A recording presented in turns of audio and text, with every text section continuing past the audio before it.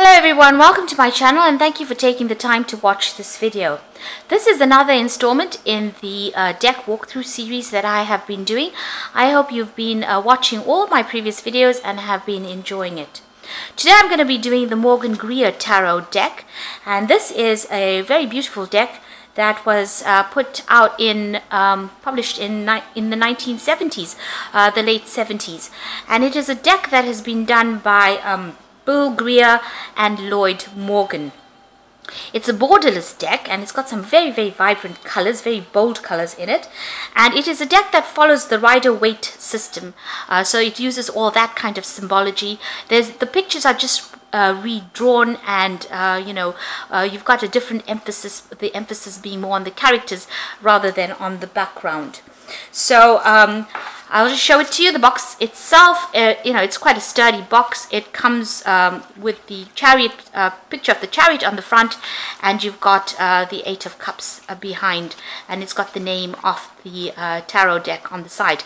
It's a, a, a deck that has been done by the US Game System. So the size of the cards as we take them out is about 7.6 centimeters by 12 centimeters.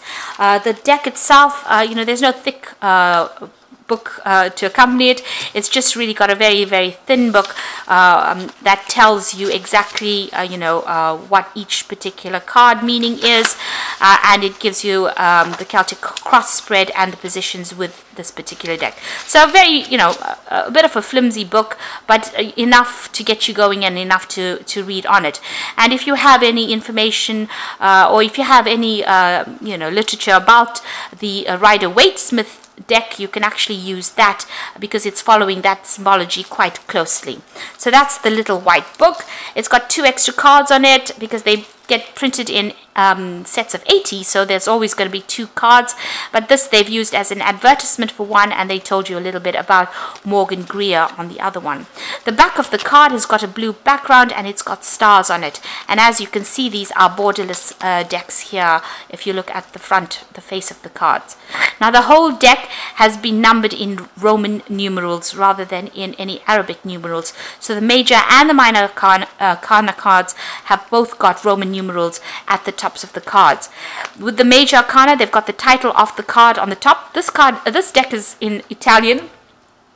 Um, I was, uh, I ended up buying one in Italian because I was far too lazy to send it back um, for an exchange in English, but it, it serves me pretty well. Um, you know, the actual pictures on the cards are quite evident and you know you don't even really rely on uh, the label of the card but you, it does come in English as well so like I said, borderless and a really good cardstock. You know, it's it's really nice, very hardy, and uh, can give you a really good intuitive read just looking at it.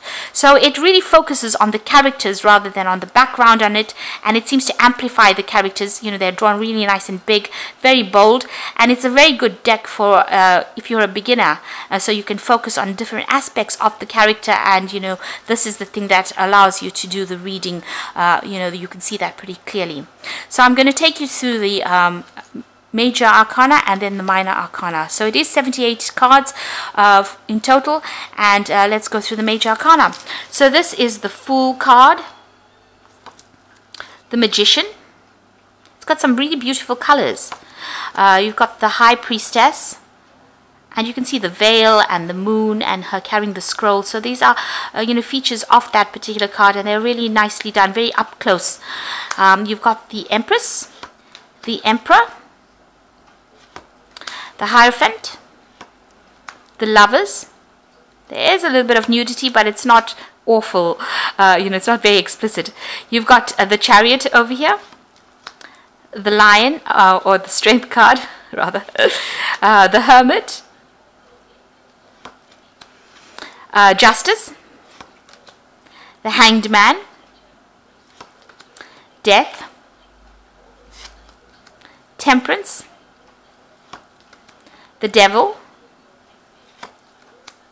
uh, this is the tower, the star, the moon, the sun, judgment, and this is the world card. So this is the major arcana. Um, oh, and this was the Wheel of Fortune. I think I've messed the deck up a bit. So this is the Wheel of Fortune card. Um, so that's number 10. Now for the Minor Arcana, uh, you've got the Pentacle suit over here. And you can see the Pentacles really nicely done. A big hand holding it. You can see that gateway opening up over there. So, you know, emphasizing all the, um, the message of the card really nice and clearly. So this is the Ace of Pentacles, the Two of Pentacles, the Three of Pentacles, the Four of Pentacles, the Five of Pentacles, the Six of Pentacles, the Seven of Pentacles, the Eight of Pentacles, this is the Nine of Pentacles, and the Ten of Pentacles. Then you've got the Page of Pentacles here, the Knight of Pentacles, the Queen of Pentacles, and the King of Pentacles here. This is the Ace of Wands, the Two of Wands, the Three of Wands, the Four of Wands, the Five of Wands. So here it's just, there's no people actually being shown, but just the hands. And you can see, you know, this is the card of uh, meeting resistance. So you can see a lot of, uh, you know, clashing of ideas going on over there. So uh, this is that Five of Wands. This is the Six of Wands, the Seven of Wands, the Eight of Wands, the Nine of Wands, oops, and the Ten of Wands, carrying all those burdens. So this is the Page of Wands, the Knight of Wands, the Queen of Wands, and the King of Wands. So you can see the colors are really vibrant. It's got a lot of energy in the deck itself. So this is the Ace of Swords, the Two of Swords, the Three of Swords, Four of Swords, Five of Swords, Six of Swords, Seven of Swords, Eight of Swords, Nine of Swords. Uh, this is a little different, you know, you've got the hands tied. It's a card of anxiety, but you're feeling very restricted. So different kind of interpretation of the Nine of Swords there. And the Ten of Swords. This is the Page of Swords uh, the Knight of Swords, the Queen of Swords, and the King of Swords. Then this is the uh, cup suit. Uh, so this is the Ace of Cups, the Two of Cups, the Three of Cups, Four of Cups, Five of Cups, Six of Cups, Seven of Cups, Eight of Cups. This is the picture on the back of the box, the Nine of Cups, and the Ten of Cups. And this is the Page of Cups, the Knight of Cups, the Queen of Cups, and uh, the King of Cups. What's very nice is that they're facing in directions, so you know you have interactions of cards that uh, do happen as well. So when you're laying out the spread, uh, this is a, a, very nice feature of this particular deck. So such uh, you know it's a, such a beautiful deck, and it's got very very vibrant colors. It's in a good size.